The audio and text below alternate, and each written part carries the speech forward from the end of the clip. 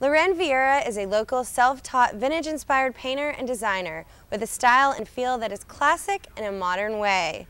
Let's take a look through the eyes of an artist.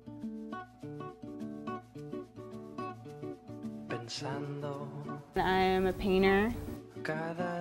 Uh, I paint in acrylics and I'm also a costume designer and from time to time I curate art shows.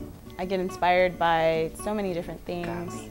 Frida Kahlo, Miro, Chagall, Degas. My style of work, it kind of fluctuates. I am drawn to more stylized work and I focus on lines and colors, but I also like the abstract.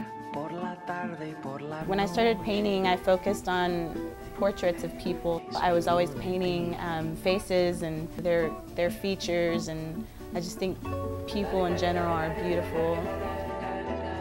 One of my pieces is here at the Bathhouse Cultural Center for the Day of the Dead.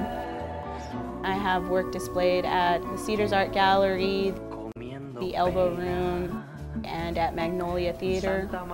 Currently I'm working on a show that is called Horrors of the Enchanted Wasteland and it's basically Mother Nature Strikes Back. It's a benefit for the Texas Campaign for the Environment and it involves 28 artists donating original works of art based on old horror movies and the environmental crises.